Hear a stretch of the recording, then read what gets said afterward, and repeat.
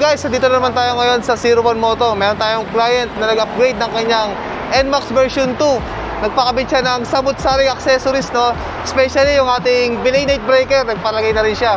So tara guys, samahan niyo ako, isa-isahin natin.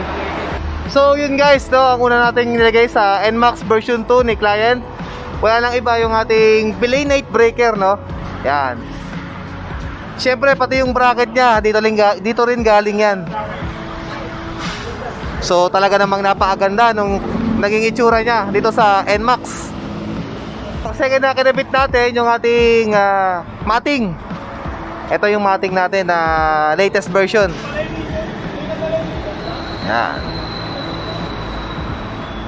Talagang kapit na kapit yung pagtapak dahil napakaganda ng pagkakabuild nito. So yung ating pangatlong kinabit, yung tire hugger.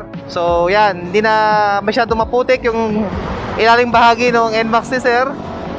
Talaga namang ah, dito pa lang, nasasala na kaagad siya, no?